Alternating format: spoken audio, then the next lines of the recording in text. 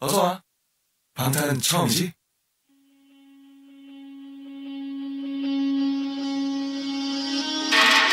Hey, ladies and gentlemen.